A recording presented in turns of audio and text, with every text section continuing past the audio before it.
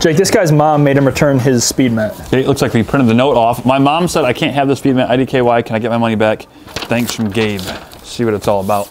Your mom said you can't have this. Um, maybe you need to check yourself, figure out what's going on in your life. You have a problem? I don't know. Well, uh, you sent this image to us, Gabe, so we're just gonna have to ship it back to you.